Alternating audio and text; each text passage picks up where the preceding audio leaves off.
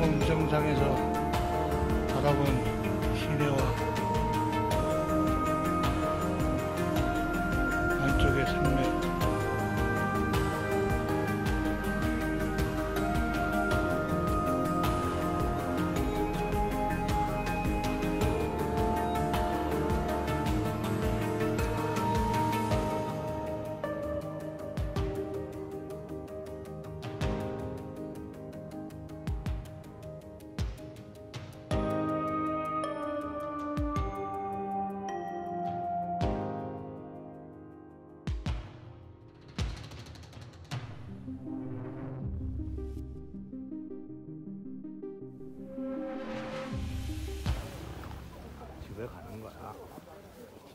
죽겠어요. 아, 예.